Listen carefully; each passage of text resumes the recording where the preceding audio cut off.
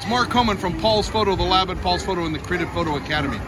We're at Disneyland and California Adventures today, and we're shooting after dark. I love to come out after dark and photograph because the lights are beautiful, and there's something special about the low light effect and low light photography. So what do you need to do this? A steady hand, high ISO, and a lens that opens to a wide aperture. And I just found something really fun. Now this is for the Nikon Z, the new 40 millimeter f2 lens, about 300 bucks. Small, lightweight, easy to use. Your camera has a small, lightweight, prime, fast lens as well.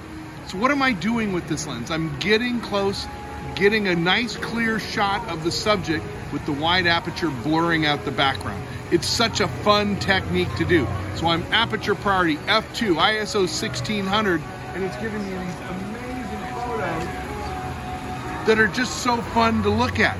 I can't wait to share them with you and see what you do with low light and a fast aperture lens.